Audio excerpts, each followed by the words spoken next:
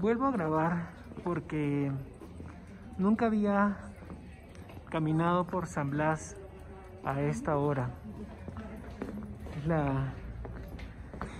esta es la muy famosa cuesta de San Blas.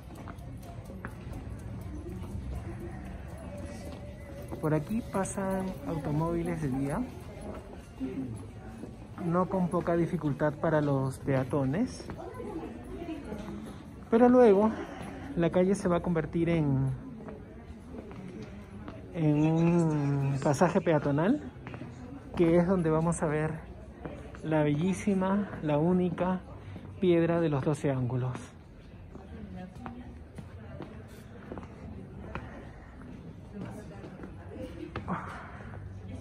Me he subido a la vereda para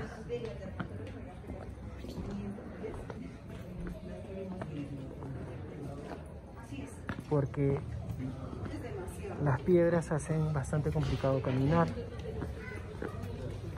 Esto es absolutamente bellísimo.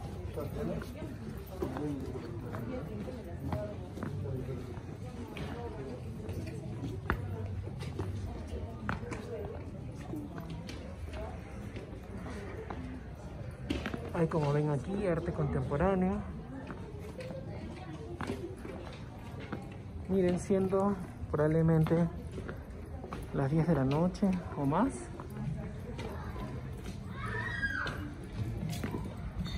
Son 9 y media de la noche y todavía podemos encontrar lugares de artesanía abiertos, con artesanía bellísima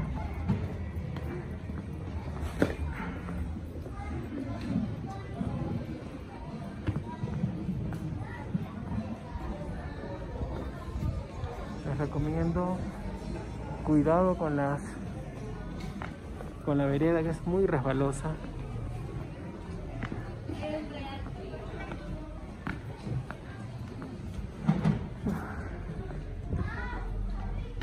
Ya entramos al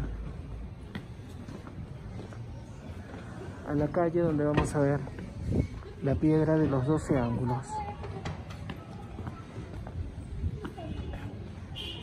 Aquí vemos la famosa cuesta de San Blas.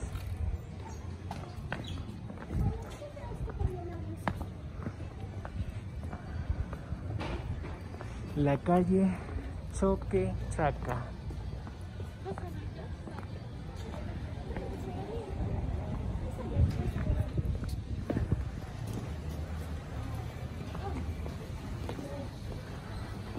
Arriba se ve un mirador, tal vez no se ve bien hay un Cristo como el de Río.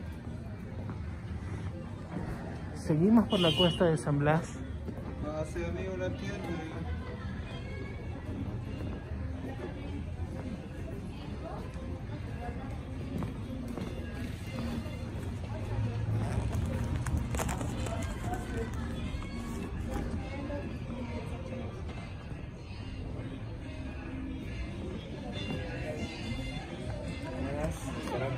Muchas gracias. Gracias.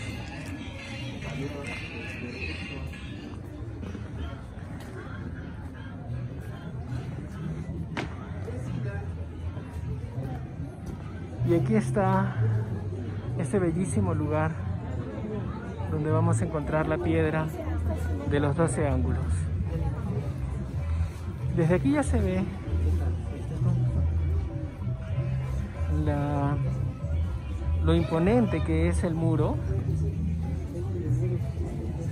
Tengo la impresión que esto fuera el Palacio Arzobispal o algo así, pero ha tenido que ser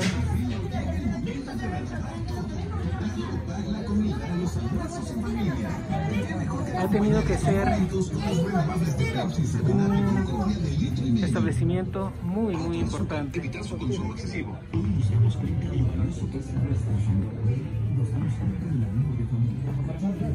Ahí vemos el famoso personaje.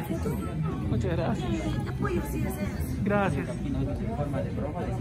El famoso Inca.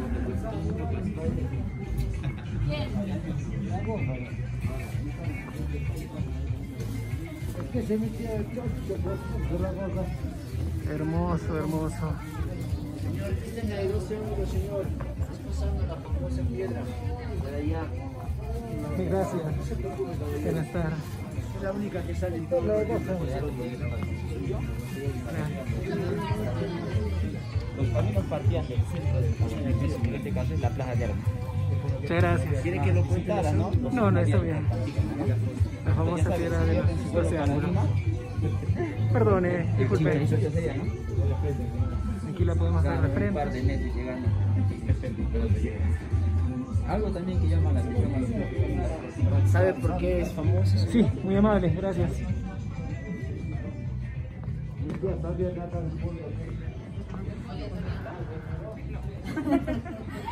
Domingo, nueve y media de la noche y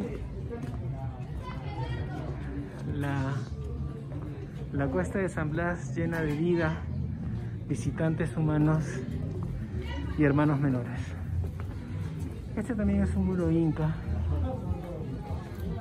Estamos hablando de más de 500 años, mucho más que 500 años de,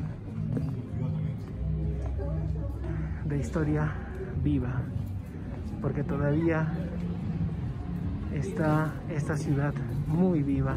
Vamos hasta la casa.